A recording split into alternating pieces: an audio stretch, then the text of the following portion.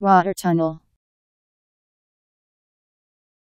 A facility comparable to a wind tunnel in which an underwater component may be tested in a controlled flow of water.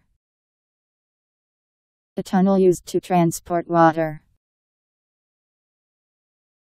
W A T E R T U N N E L